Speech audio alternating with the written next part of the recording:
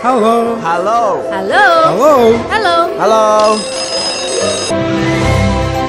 Halo sekolah. Halo sekolah, hanya di www.biradio.net.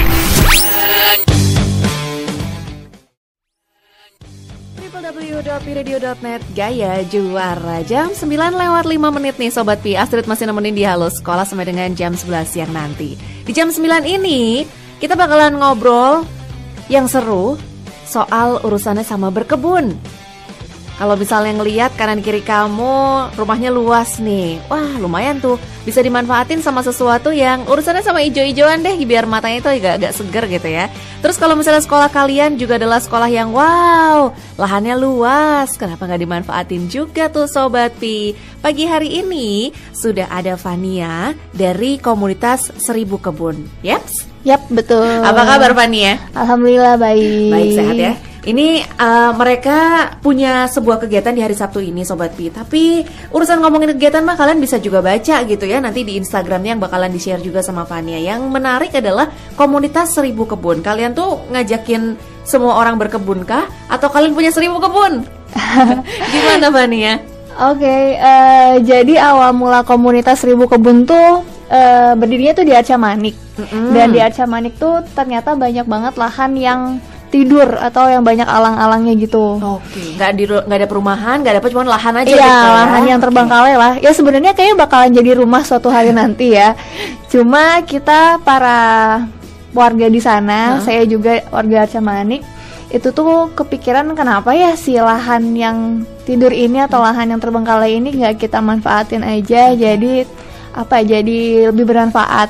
Jadi kita Kamu memanfaatin tanam-tanam. sebagai apa? Eh, Tempat kita- jemuran? Oh, enggak. Atau tempat main skate park gitu? kita manfaatkan sebagai sumber pangan kita, Cie. Oh gitu. supaya kita bisa nanam sendiri lah makanan kita gitu walaupun ada banyak di pasar tapi seenggaknya kayaknya punya sense of belonging yang tinggi ketika kita sudah menanam makanan kita sendiri bercocok tanam tuh kalau yang Astrid mikir adalah harus padi, menanam padi. ya ampun? Kayak gimana? emang notabene-nya ke padi ya ke Nah. petani itu nanamnya padi Ah, tapi ah. padahal ternyata kita punya alternatif lain loh alternatif pangan lain selain padi Apa aja tuh? macem-macem bisa Macem-macem? ma- alternatif padi itu bisa jagung bisa sorghum itu sumber karbonya bisa juga sayur-sayuran Oke. dan sebenarnya kan kita butuh makanan lebih variatif ya supaya nutrisinya terpenuhi Iya.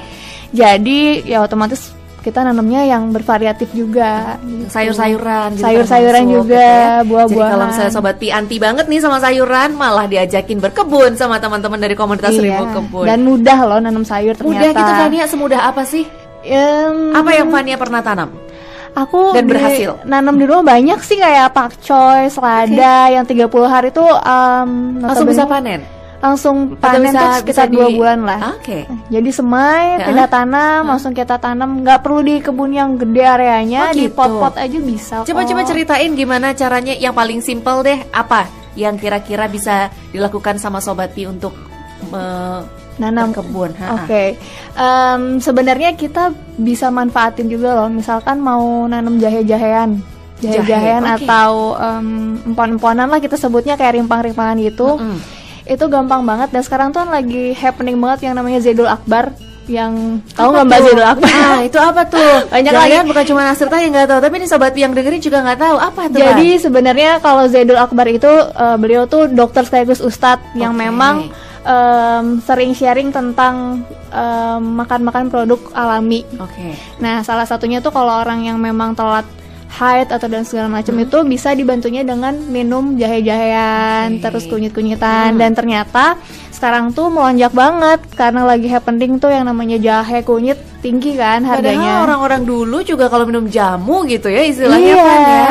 Dan ternyata kita bisa nanam sendiri si jahe dan kunyit itu, ngambil aja dari pasar, taruh aja di tanah, udah tumbuh. Ngambil Sekarang- beli dulu di pasar, terus Iya. ditaruh aja. Iya. Jadi nggak mikirin bahwa ini dapatnya dari mana, bibitnya apa enggak ya? Semudah Sebenarnya itu. mudah sih itu.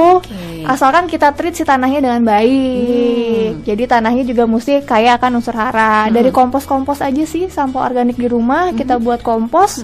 Tiga bulan udah bisa panen, kita jadiin buat media tanam. Jadi sebenarnya itu ya. menanam itu easy. gampang banget Mudah. gitu ya. Soalnya mungkin anak-anak sekarang mikir bahwa eh, nggak ada tanah. Setiap hari lihatnya paving block gitu ya. Jadi nggak bisa ngeliat nemuin tanah di mana gitu. Oh, Ternyata mudah. Ternyata mudah. Jadi dari sisa makanan pun bisa jadi tanah gitu Hmm, juga oke. kalau kita mengompos. Wah, itu obrolan tentang kompos nih juga menarik nih. Apakah teman-teman di eh, komunitas Seribu Kebun ini juga memberikan edukasi untuk orang-orang melakukan yuk kita sama-sama bikin tadi kompos kah atau bikin pupuk organik apa gitu.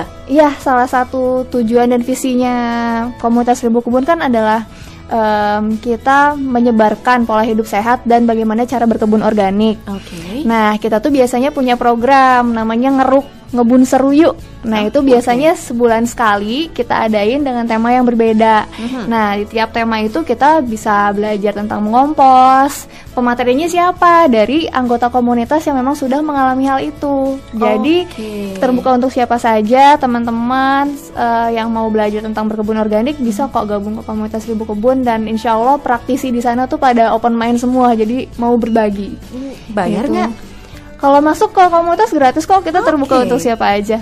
Jadi kalau misalnya emang ada yang tertarik urusannya sama berkebun atau lagi pengen sesuatu hal yang baru nih ya teman-teman ini akan liburan tanggal 20 ini Van. Setelah Oke. mereka rapotan terus mereka akan liburan sampai awal tahun. Jadi Oh. sampai awal Januari. Kali-kali aja ada sobat pi yang langsung kepikiran, "Ntar saya liburan ngapain ya? Gimana kalau berkebun?" Nah, ya. apalagi sama keluarga. Nah, oh itu ada ceritanya ya. Ceritanya emang Iya. lebih menarik kalau misalnya berkebun bersama Betul. seluruh Kita anggota suka keluarga. ada workshop family gardening judulnya. Jadi berkebun bersama ayah dan ibu. Kenapa? Kenapa itu menjadi hal concern yang menarik? Karena saya kita kan kayak ibu, bapak dan anak tuh kayak belajar bareng-bareng gitu loh, berproses bareng-bareng dalam menanam tanaman itu. Dan jadi feelnya beda ketika mereka panen juga bareng-bareng. Oh, Kalau kalau misalkan kemarin-kemarin sih sempat ada workshop family gardening juga mereka testimoninya eh, anak-anaknya sih mah eh, jagungnya udah tumbuh. Iya nanti mama buatin sayur bayam ya pakai jagung misalkan gitu. Jadi kayak apa ya? Ada keterikatan lah di situ juga. Jadi em, bukan hanya liburan-liburan aja kayak main-main bia- biasa gitu ya, tapi ada maknanya ketika berkebun itu. Kebersamaannya, terus mereka juga jadi tahu kan asal makanannya mereka dari mana Iya, dan insya Allah uh. sehat karena mereka yang menanam sendiri. Kalau misalnya asal makanan dari supermarket mungkin biasa gitu ya. Iya. Tapi kalau misalnya "Ih, itu yang dari pot yang kemarin kakak tanam loh gitu. Iya. Jadi feelsnya berbeda. Dan ada sense of belonging juga, jadi mereka senang ketika menanam itu, ketika panen itu. Oh, menarik nih ya. Kalau cerita ini disebarkan untuk eh, sobat pi mungkin yang sehari-harinya memang berkebun gitu ya, membantu orang tua di ladang. Mungkin jadi hal yang ah mungkin itemnya biasa kok gitu ya, tidak terlalu hal yang gimana-gimana. Tapi buat kalian yang tinggal di perkotaan, yang nggak terbiasa untuk ngeliat tanah aja mungkin bisa ya ampun pot doang di depan rumah gitu ya, nggak sebuah tanah lapang yang luas. Tapi ngomongin soal berkebun itu macam-macam sobat pi, apalagi di zaman sekarang berkebun itu nggak harus punya lahan yang luas, bahkan di pot eh, kecil aja bisa gitu ya. Obrolannya makin seru nih. Kalau yang mau gabung boleh di 0811 8155500. Fania dari Seribu Kebun akan ngobrol lagi sama Astrid. Stay tune. Komunitas Seribu Kebun Sobat Pi mengajak kita untuk memiliki pola hidup sehat dan berkebun organik. Kalau urusannya sama organik kayaknya pasti pada mikir, ah organik teh apa sih? Apa bedanya sama bapak petani yang biasanya nanam-nanam sayuran, nanam padi gitu ya. Fania pagi hari ini dari komunitas Seribu Kebun ngobrol lagi sama Astrid nih. Kita lanjut lagi ya Van obrolannya. Boleh. Kalau obrolan soal tentang petani yang kita lihat ketika melihat ya lahan pertanian pasti ada masa-masa tertentu itu panen gitu ya. Kita lihat wah kalau misalnya di pinggir-pinggiran wilayah tuh pasti banyak banget. Tapi sekarang di tengah-tengah kota banyak orang mencanangkan untuk yuk kita mulai berkebun gitu. Ah tapi kan lahannya nggak ada Van. Terus tadi Vania cerita, ah bisa kok dengan lahan yang sangat simpel aja bisa semua orang berkebun dan itu dimanfaatkan untuk ya setidaknya nggak usah kalian mikir satu kompleks dikasih makan sama kalian gitu ya. Pikirin aja yang satu rumah aja gitu yang satu anggota keluarga. Gimana caranya sih Van? Iya, em, kemarin tuh kebetulan kita juga ada kegiatan berkebun di sekolah. Berkebun di sekolah? Daerah SD Asmik di daerah Bandung juga ya. Oke. Nah itu tuh eh, kita sharing juga tentang berkebun, tapi mereka nggak punya lahan. Gimana caranya kita buat instalasi vertical garden? Jadi em, Instalasi vertical garden. iya. Jadi eh, apa bisa dibilangnya kebun yang dengan bentuknya lahan vertikal. dengan yang lahan yang ala kadarnya tapi bentuknya malah ke atas gitu iya ya. betul. Oke. Bisa nempel di dinding atau kita bisa gantung-gantungin pakai bambu-bambu. bahkan bisa nempel di dinding. Iya. Oke. Dan potnya itu juga sebenarnya nggak perlu beli pot sih. Kita bisa reuse lagi gitu, bisa upcycle lagi dengan menggunakan botol aqua, Oh. botol air mineral. Maaf. Berarti botol plastik Iya. gitu ya, botol-botol yang sudah nggak kepake itu bisa sobat Pi manfaatkan untuk dijadikan potnya. Ya Oke, betul. lalu? lalu eh, botol-botol itu bisa ditempel di dinding atau digantung dan diberi tanah. Kemudian kita kasih bibit deh, bibit sayuran bisa selada, pakcoy, terus eh, romaine yang suka salad, Ya. jadi macem-macem dan itu dua minggu pun sudah bisa panen. Teman-teman sekarang tadi kemarin tuh udah pada panen, udah makan hasil panennya sendiri. Apakah tanamannya harus ada tanaman khusus, Ivan? Atau semua tanaman sebetulnya bisa? Sebetulnya eh, semua tanaman bisa, Oke. tapi kita mencari yang mana nih yang lebih cepat untuk dipanen. Oh, Bahkan wortel juga bisa ditanam di situ karena kan kalau botol air mineral kan panjang, Panjang, nah gitu wortel juga bisa. Cuma kalau wortel tuh umurnya tiga bulan, Oh, lama ya. lumayan. Kalau umbi-umbian tiga bulan, tomat itu tiga bulan. Jadi sebenarnya tergantung kita juga mau bersabarkah untuk menunggu atau Uh-uh. memang ya udah kita mulai di awal yang mudah-mudah dulu deh. Uh-huh. Menurut saya kalau tanaman 30 hari itu kayak sayur, selada, pakcoy itu mudah untuk ditanam. Dan nyemainya pun juga mudah juga gitu. Jadi itu bikin semangat sobat Pi juga kalau misalnya habis nanam kayaknya berasa pengen ditungguin terus gitu ya. Iya, apalagi kalau ada yang maniak juga sampai difotoin prosesnya Setiap gitu. hari gitu Iya. ya diliatin aja. Itu saya sih, prosesnya saya fotoin gitu. Loh mungkin nanti ada loh di luar sana sama kayak Vania Tiap hari aja dipantengin Butuh pasang CCTV sekalian aja Van Iya, jadi kayak buat time lapse gitu bagus kan. Ketika berbunga tuh seneng gitu kelihat. Nah itu dia. Dari awalnya karena seneng Terus akhirnya ya eh, Tipsnya mungkin yang simple dulu kali ya. Diawali dari yang bisa eh, Dalam beberapa minggu bisa di apa namanya? Panen. dipanen. Terus akhirnya nanti nambah tuh. Next level deh kira-kira sabarnya bisa nambah nggak nih? Iya. terus tanaman-tanaman berikutnya. Jadi sebetulnya semua tanaman itu bisa ya? Bisa ditanam. bisa. Oke. Terus tadi kalau misalnya ngurusin eh, vertical garden berarti ini kan banyak yang memang sudah tidak punya lahan ya kan ya? Oh. Atau kalau misalnya saya mah punya lahan lahan bapak saya mah luas gitu ya. Tapi saya pengen sesuatu hal yang berbeda. Oke. apakah itu bisa dijadikan alternatif? Eh, bisa banget dan sebenarnya kan kalau misalkan kita lihat pertanian atau ya pertanian konvensional kan bedengannya tuh panjang-panjang gitu kan. Pertanian konvensional tuh yang kalian lihat nih yang luas banget Iya. lahannya tuh sobat Pi. itu kalau untuk padi dan kalau sayuran tuh suka ada bedengan-bedengan panjang gitu. Sebenarnya kita bisa kok ngebuat satu hal yang lebih cantik lah penampakannya berestetika dengan cara eh, kita bisa manfaatin lagi kalau misalkan di rumah punya area sekitar satu kali satu meter kita bisa buat rice bed garden namanya jadi kayak em, apa namanya pot gede bisa terbuat dari apa ya dari eh, genteng-gentengan yang bekas itu atau kayak dari eh, Harus ke tanah liat gitu atau apa? Atau Sebenarnya batu-batuan kalau disusun? berangkal-berangkal juga bisa. bisa. Oke. Yang jelas dia bisa menampung tanah. Oh, jadi- jadi idenya adalah untuk menampung tanah sobat. Betul. Oke. Jadi ketika emang di rumah paving block semua semen, semua iya. beton, semua. Nah, teman-teman bisa apa masukin tanah ke situ. Jadi dibuat kayak bak seukuran satu kali satu, tingginya 30 cm. Nah, teman-teman bisa langsung masukin tanah, media tanam ke sana, langsung tanam deh. Dan biasanya tuh kalau em, apa namanya selada atau sayuran yang memang mudah itu dia jarak tanamnya nggak terlalu jauh, sekitar 30 cm. Mhm.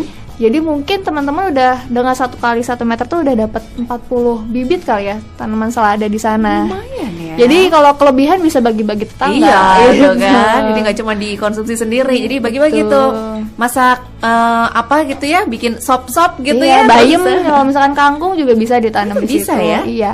Termasuk tanamannya mudah bayam dan kangkung. termasuk tanaman yang mudah bayam dan kangkung. Nah, jadi kalau misalnya kalian nggak ada kerjaan liburan ini, siapa tahu pengen berkebun menjadi satu alternatif aktivitas yang kalian bisa lakukan. Atau kalau misalnya sendirian map kayaknya saya pusing nih dapat informasinya. Ajakin dong ya teman-temannya. Terus ikutan gabung sama bisa nih sama teman-teman di seribu kebun. Betul. untuk mereka bisa sharing juga ada cerita suksesnya kah? Ada bibit-bibit bisa didapetin di mana gitu ya. Bisa ada toko khusus kah atau kalian juga memberikan bibit untuk yang mau? Em, kalau bibit sebenarnya kita eh, di dalam anggota komunitas Seribu Kebun ada yang namanya Bank Benih Indonesia. Bank Benih iya, Indonesia. Foundernya namanya Pak Dave Pak David. Jadi memang dia punya apa ya?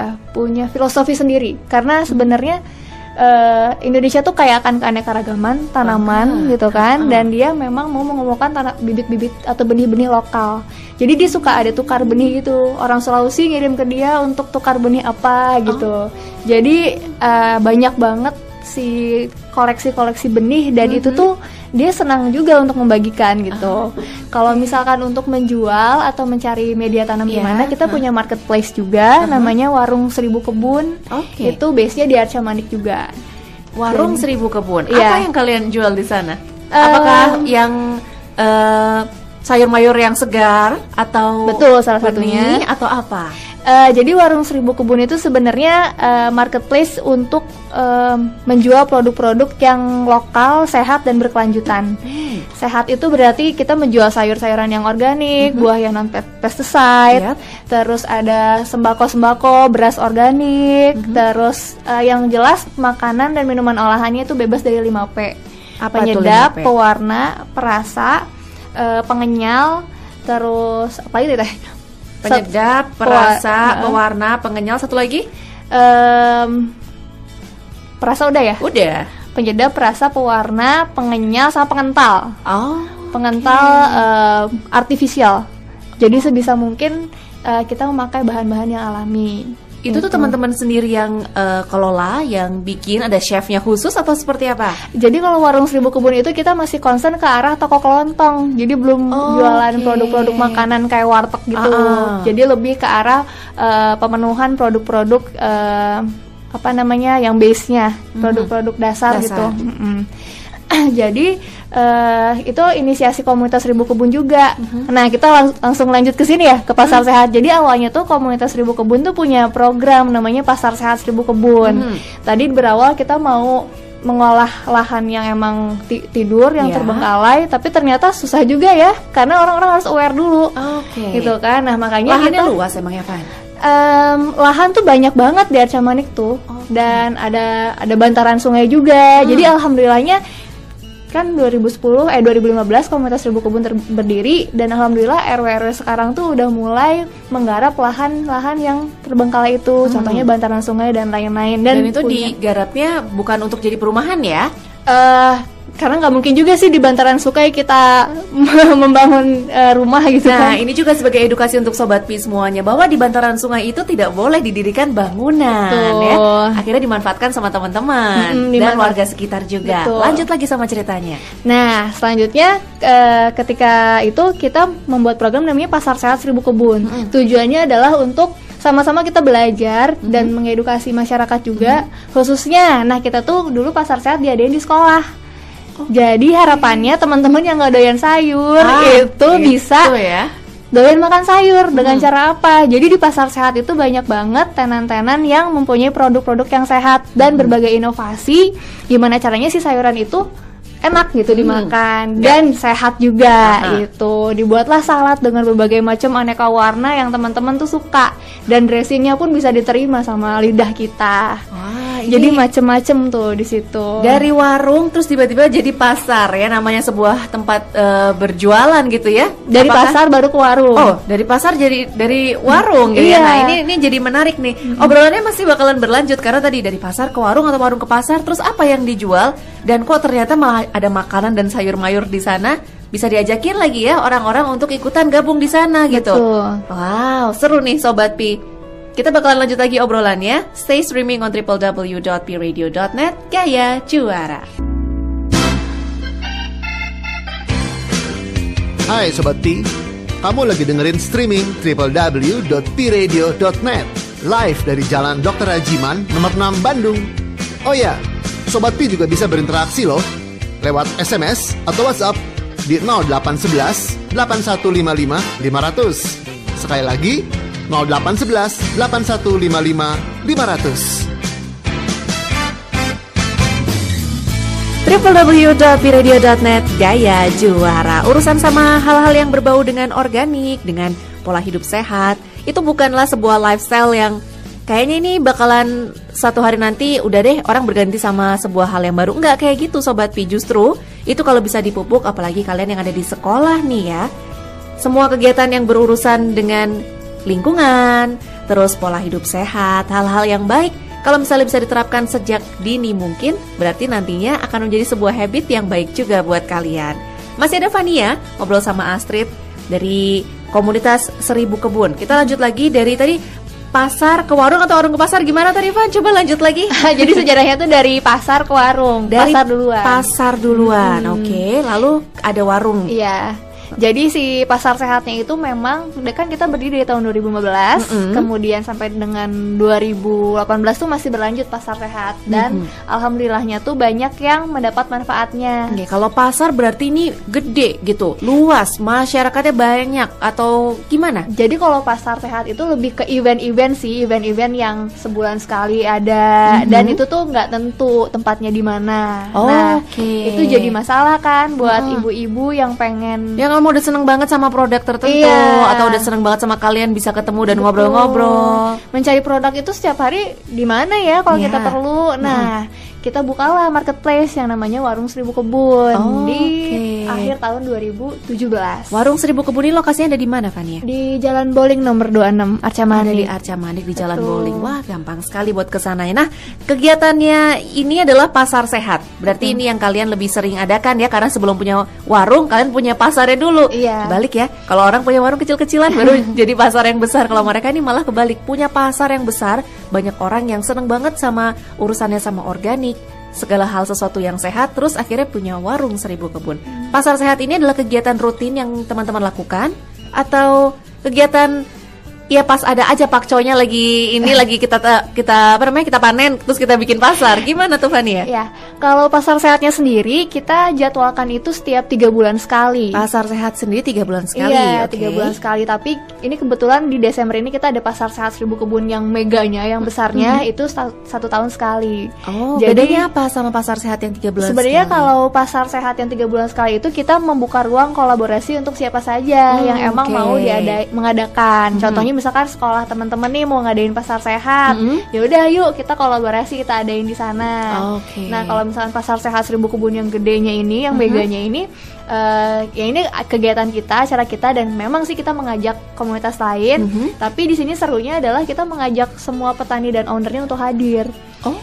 Jadi disebutnya temu harmonis karena uh, dari sana kita bisa apa ya menemukan jadi uh, orang-orang tuh membuat suatu produk kan punya value-nya kan. Ya. Nah, pasti beda-beda juga. Beda-beda gitu ya? juga ada maknanya. Maksudnya hmm. kenapa sih dia membuat produk seperti ini hmm. gitu kan ya. Nah, itu di pasar sehat Seribu Kebun tuh yang gedenya kita bisa mendapat cerita banyak dari si ownernya. Hmm, Jadi okay. who is behind the products gitu. Hmm. Jadi kita bisa belajar banyak. Apa aja sih siapa saja pelaku yang sudah uh, bakalan hadir nih ya karena acara pasar sehat Seribu Kebun ini akan diadakan hari Sabtu ini. Betul. Nah, itu dia. Berarti ada satu event yang besar banget nih sobat hmm. Pi. Emang siapa yang uh, bocorannya yang sudah bakalan bakalan hadir dan bercerita tentang keseruannya berkebunnya mereka kan. Um, ada satu nih cerita yang seru kita mengangkat namanya Pak Luki. Mm-hmm. Beliau itu seorang dulunya bukan petani. Dulunya bukan petani. Iya, dulunya bukan petani. Dari apa nih? Dan latar dia, belakangnya apa? Latar belakangnya tuh pengusaha di kalau nggak salah okay. atau pegawai ya. Tapi uh, dia punya masa lalu yang kelam, pernah di PHK dan hmm. lain-lain dan dia memang uh, menderita penyakit lupus dan okay. dicap uh, apa ya, dicap mohon maaf impoten gak punya mm-hmm. anak dan um, itu dia down banget healingnya dengan cara apa dengan cara membuat area permaculture jadi area berkebunan organik okay. dan itu berlangsung lama ya dia healingnya berkebun organik menghasilkan uh, sayur organik juga mm-hmm. dan uh, alhamdulillah menikah kemudian punya anak oh jadi amazing banget kan jadi kayak itu berkebun itu bukan cuma sekedar bisa menghasilkan makanan gitu ya, yeah. tapi ternyata ada proses juga. Ada orang-orang yang berproses untuk menyembuhkan diri. Betul. Oh. Dan nanti Pak Luki akan hadir di uh, Pasar Sehat Seribu Kebun. Beliau akan sharing lah gitu dan beliau juga sangat open mind banget ketika teman-teman yang emang mau belajar tentang berkebun organik, Mhm. mangga gitu dia, hayo hayo katanya, manfaatkanlah saya katanya gitu, pengen ber, apa bukan manfaatkan jadi kayak Ya karena beliau punya cerita sukses ya iya, untuk punya cerita menjalankan sukses dan itu bukan hoax loh, bukan gimmick loh, karena ada gitu. beliau kerjakan sendiri gitu Iya, ya.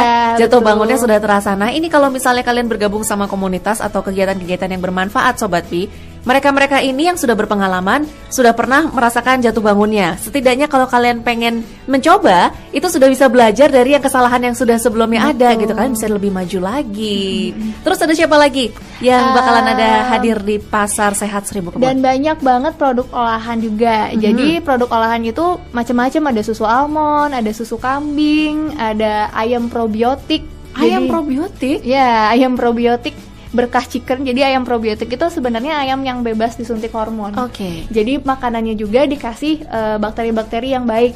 Hmm. Jadi si pencernaan ayamnya dan bahkan ketika makan pun ayam akan menyerap makanan lebih banyak lagi, lebih lebih sehat lagi lah. Insya Allah berkah juga. Mhm. Nah, eh, nanti eh, juga akan ada em, kebun Al-Quran. Kebun Al-Quran itu Ini apa yang apa yang dituai apa yang ditanam? jadi namanya Bapak Asep yang punya kebun Al-Quran ini eh, dan di Quran sendiri kan banyak banget tanaman-tanaman yang disebutkan ya. Yap. Salah satunya adalah buah tin. Mhm. Nah, nanti Pak Ag- Pak Asep akan menjelaskan tuh gimana sih membudidayakan buah tin dan beliau juga menyediakan bibit tinnya Oh, dan olahan tin tuh kayak gimana sih gitu kan ada selai buah tin masa Ada. ada. Nah, itu wow. menarik banget. Jadi teman-teman yang mau hadir ke sana tuh bisa selain apa ya? Eh, dapat membeli produk tapi bisa juga belajar banyak hal dari para artisan dan petani-petani lokal di sana. Mhm. Apalagi ya? Apalagi Van? Em, dan selain itu juga em, ada banyak craft craft craft itu jadi karena kita punya prinsip bukan prinsip ya lebih ke ya prinsip eh, dan tema pasar sehat itu lokal harmonis berkelanjutan eh, dan sehat jadi si craftnya juga kita melihat dan kita memilih kita kurasi dulu ya sebelumnya si stand-standnya itu. Kita kurasi kita lihat craftnya ini yang memang dia punya em, punya prinsip berkelanjutan juga. Oh jadi kerajinan-kerajinannya bukan yang cuman seke- sekedar ya sudah ini bagus gitu ya, bukan sekedar ini bisa dipakai, tapi juga itu bisa berkelanjutan. Iya, jadi contohnya kayak ada tas dari karung goni, Mhm. ada keranjang-keranjang dari kerajinan bambu. Itu kan sebenarnya estetikanya bagus dan Mhm. ketika memang dia dibuang pun akan biodegradable gitu kan Iya. ya, akan mudah terurai. Kemudian ada macam-macam kayak green um, eco lifestyle stuff gitu kayak misalkan sedotan stainless, Oh, terus oke. kayak tumbler dan lain-lain terus ada pengganti popok atau pembalut wanita Mhm, mhm. kan sekarang pembalut sudah lumayan merajalela ya yang Yap. plastik Mhm. nah ada alternatifnya yaitu memakai dari kain Mhm. atau dari menstrual cup Yap. gitu kemudian ada pameran Pamerannya pameran apa? Sayur mayur dong pastinya itu juga kalian Tentu ada ada, pameran produk ya? sayuran juga dan Uh-uh. langsung dari petaninya Uh-huh. Eh, ada juga em, pameran lebih ke pergerakan movement jadi nanti ada nah lembaga penelitian namanya K3 dia Mhm. punya program sama kita bareng-bareng namanya Let's Be Young Farmer Let's be young, Young farmer. farmer. Oke. Nah, itu kita bekerja sama dengan AK3 mengajak para pemuda di Sukabumi dan Kebumen untuk mereka bertani bareng-bareng gitu, bertani di eh, tempat asal mereka gitu, yang memang asalnya nggak punya pekerjaan atau memang apa eh, pemasukannya sedikit gitu kan ya.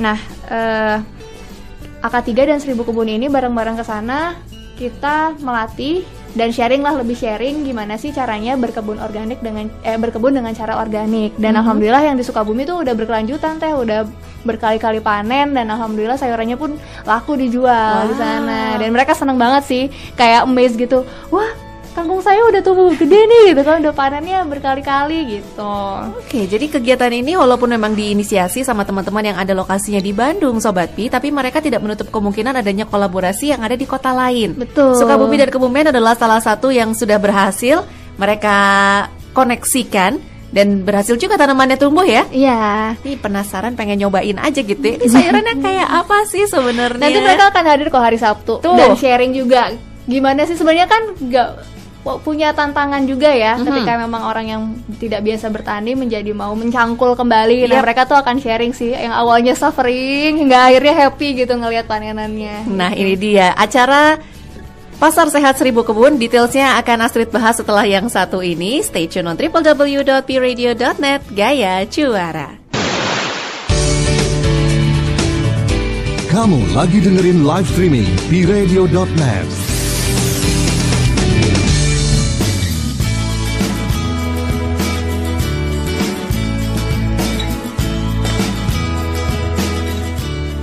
Urusan namanya pasar sehat gitu ya. Kalau misalnya ngomongin sehat Wah ini mah harus yang makan sayur Harus yang olahraga Harus yang kayak gimana sih? Padahal kalau urusannya sehat tuh sebenarnya gampang.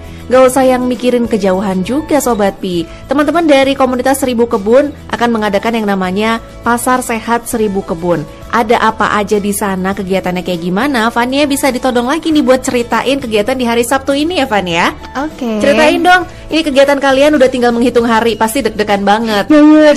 Enggak deh biasa aja. Bismillah Bismillah Bismillah.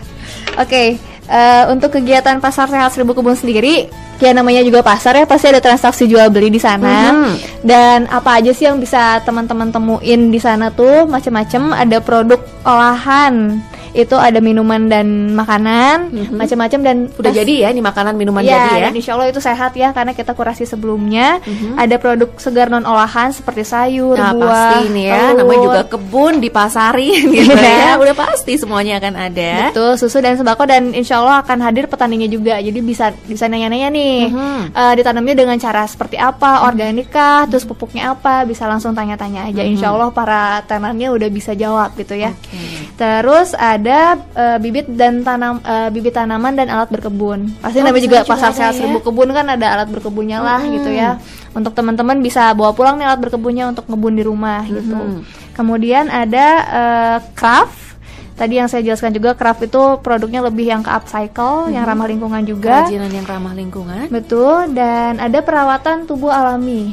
Perawatan tubuh. Iya, Jadi hot ini and beauty care. dimakan, ada sayurannya, terus ada minumannya, ada makanan-makanan, terus ada juga yang dipakai di kulit kita. Iya betul. Nanti Oke. ada sabun-sabun yang natural yang ramah lingkungan, ada essential oil, terus macam-macam lah ya.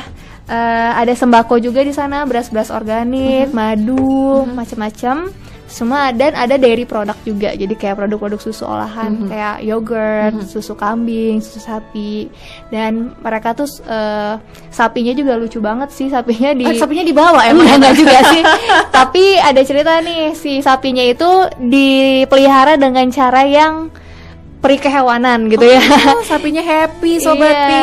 Jadi disebar ke apa ke area yang luas. Jadi dia happy bisa lari-lari gitu. Makannya pun rumput-rumput yang segar gitu. Oke, itu tadi kan eh, item-item yang ada dijual ya Mm-mm. di Pasar Sehat Seribu Kebun 2019. Apakah cuman ada jual beli aja di sana atau ada kegiatan lain? Um, nggak hanya jual beli, jadi kita memang eh, menitik beratkan juga kehangatan dan keharmonisan, Cie. Kehangatan dan keharmonisan ini makanya kalau anget-angetnya udah pikiran saya mah seblak Oh gitu ya, kalau mie rebus gitu ya, aduh.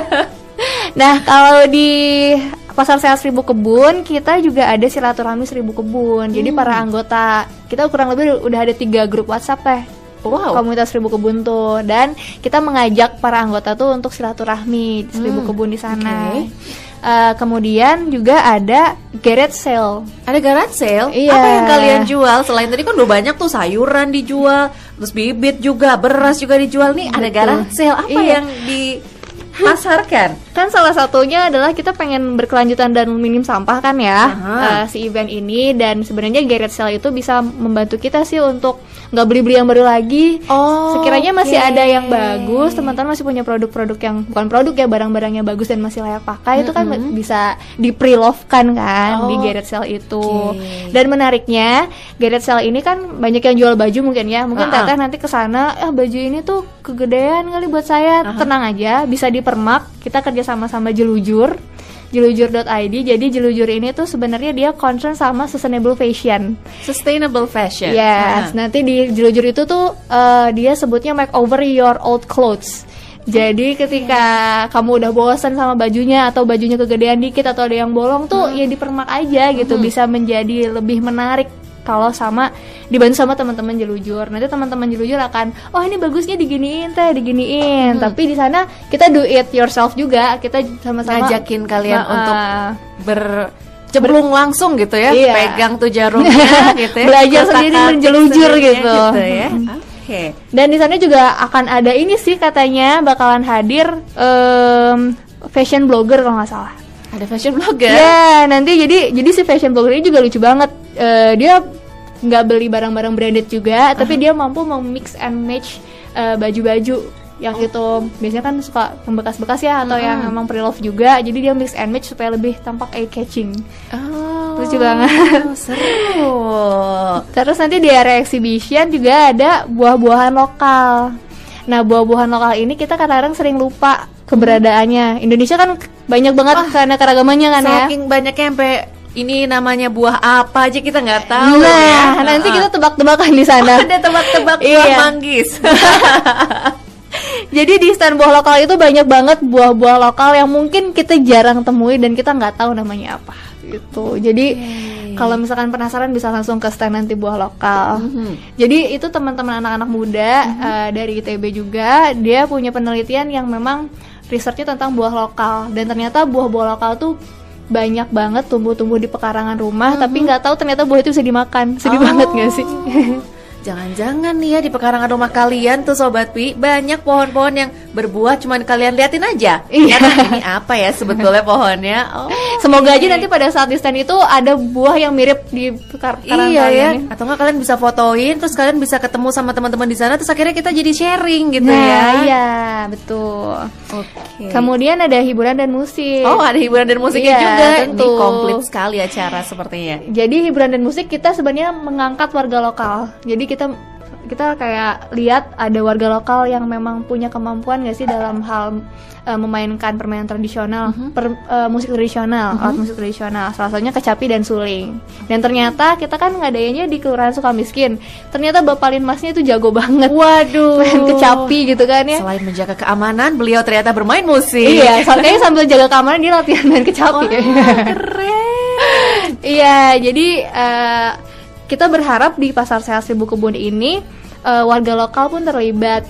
Jadi bukan hanya kita memanggil warga-warga umum aja nih, tapi justru tujuan kita adalah eh, bisa mengedukasi dan sharing tentang pola hidup sehat ke warga lokal sekitar di Arca Manik. Karena eh, Seribu Kebun tuh kan memang berdirinya di Arca Manik, kok rumah sendiri dilupakan gitu. Kita kemarin sering ngadain pasar sehat di sekolah-sekolah, tapi ternyata di kelurahan pun belum. Nah, makanya kita pengen ngadain ini bareng-bareng merasakan bahwa sebenarnya eh apa kita bisa loh gitu belajar dan apa sharing dimulai dari rumah kita Rumah sendiri. sendiri, ya. Acaranya kapan? Diingetin lagi untuk sobat Pi semuanya nih, Van. Acaranya kapan, di mana, siapa aja yang boleh ke sana dan kalau misalnya sobat Pi nggak sempat ngedengerin obrolan kita dari tadi jam 9 bisa dicek ke mana nih informasinya. Oke, eh, kegiatan pasar sehat ini eh, akan diadakan hari Sabtu nanti tanggal 21 Desember. Eh, mulainya tuh dari jam 7 sampai jam 5. Tempatnya itu di Taman Kelurahan Sukamiskin. Kalau susah nyarinya. Iya, kalau Oke. susah nyarinya bisa langsung ke spot Jabar aja. Soalnya tuh deket banget depan-depanan di situ. Oh, gampang banget ya kalau misalnya tahu sport Jabar yang ada di Arca Manik, seberangnya situ. Iya, betul. Bakalan kelihatan lah ya ada keramaian di sana. Di hari Sabtu ini dari jam 7 pagi sampai dengan jam 5 sore Pasar Sehat Seribu Kebun siap menemani hari Sabtunya sobat Pi semuanya dengan berbagai macam kegiatan. Betul. Terus juga banyak pematerinya, ada teman-teman yang bisa diajak Oh iya sharing. teh, ada Ya. workshop juga saya Ah. lupa. Macem-macem ada workshopnya. Jadi nanti workshopnya kita bisa belajar berkebun bareng bersama Kang Galih, Ketua Komunitas Ribu Kebun. Terus nanti juga kita bisa belajar gimana sih cara mengolah makanan yang sehat bersama serasa salad. Terus nanti gimana juga karena ini kayaknya lingkungan udah mulai tercemar nih. Gimana sih kita membuat sabun cuci piring atau sabun cuci baju dengan cara yang alami. Nah, itu pakai buah lerak. Buah lerak tuh itu ya ternyata gamp- Iya, ya. gampang dan nanti teman-teman bakal bisa ikutan workshopnya di situ supaya tahu lebih banyak. Ini kalau misalnya yang bisa ikutan atau mau datang ke sana harus beli tiket kah? Harus reservasi kah? Atau gimana, Van? Oke, kalau mau ikut workshop itu memang harus reservasi dulu karena tempat duduknya terbatas. Oke. Nah, kalau untuk mau datang langsung ke sana, itu sebenarnya investasinya cukup dengan hati yang senang, gembira dan siap-siap update Instagram aja di sana ya. Oh, ternyata gratis nih Sobat. Gratis. Dan nanti ketika datang tuh 100 orang pertama akan mendapatkan benih Wah. dari Bank Benih Indonesia. Jadi antri sepagi mungkin gitu ya. Bawa diri yang sangat fresh karena jam 7 pagi sudah bisa ada di sana. Iya. Oh iya, jangan lupa bawa tumbler juga teh. Bawa tumbler, minum, tempat makan tempat dan makan. kantong belanja sendiri. Wah, itu semuanya bisa dibawain dan kayaknya setiap sen bisa diicip-icip ya. Dan setiap sen pun juga punya reward bagi orang-orang yang membawa tas belanja sendiri. Tuh seru sekali ya ampun Pasar Sehat Seribu Kebun di hari Sabtu ini nih Sobat Pi Kalau misalnya Sobat Pi pengen lihat Instagramnya atau website atau informasinya bisa kontak ke siapa dan di mana Fania? Bisa kontak ke at komunitas seribu kebun di sana update semua kegiatan dan detail juga kalau misalkan emang eh, mau ada yang ditanyakan bisa langsung hubungi CP-nya aja di sana. Jadi di at komunitas seribunya pakai eh, Angka, angka, ya betul. 1000 kebun nih Sobat Pi. Iya. Jadi kalau misalnya penasaran sama kegiatannya apa atau kamu juga punya ide yang sama bisa dilakukan di lingkungan sekitar kamu, di sekolah juga. Pas banget nih menjelang liburan, habis rapotan, ajakin ya papa mama, adik-adik dan saudara-saudaranya semua buat ke acara Pasar Sehat Seribu Kebun di hari Sabtu ini. Fania terima kasih. Sama-sama. Ceritanya seru banget, semoga bisa menginspirasi sobat pi semuanya buat berkebun. Anak-anak muda juga ternyata berkebun tuh nggak susah-susah banget kok, nggak usah mikirin, wah saya nggak punya lahan satu hektar, nggak harus gitu ya, gitu ya. Coba dilihat dari sekeliling kamu, apa yang ada di rumah kamu, kira-kira ada lahan yang bisa dimanfaatkan, bisa banget dan langsung aja dimanfaatin. Thank you Fania, salam buat teman-teman komunitas Seribu Kebun, sukses ya acaranya di hari Sabtu nanti. Thank you. Astrid masih nemenin Sobat Pi semuanya sampai dengan jam 11 di Halo Sekolah. Jangan ke mana-mana, stay tune on www.pradio.net. Gaya juara.